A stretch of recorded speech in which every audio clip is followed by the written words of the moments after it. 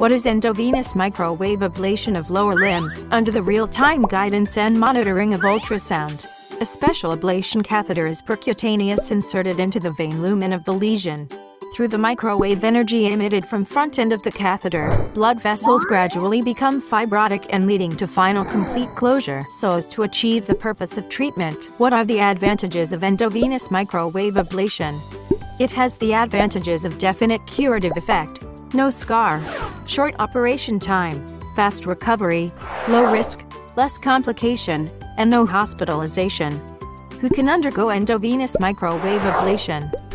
Endovenous microwave ablation of lower limbs is applicable to patients with great, small, saphenous varices without unblocked deep veins, severe devascularization, venous mass, perforating venous insufficiency, with leg ulcer, varicose vein recurrence of lower extremity, and superficial venous hemangioma. Postoperative care precautions. 1. After the operation, pressure bandage should be used, and the patient must wear medical compression socks. 2. Patients who underwent the operation with local anesthesia can get off the bed to move right after the operation. Patients underwent the operation under general anesthesia or epidural anesthesia are encouraged to get off the bed to move after they are fully awake. 3. Remove the pressure bandage one week after the operation and continue to wear medical compression socks for three months. 4. Ultrasound follow-up should be done seven days after operation.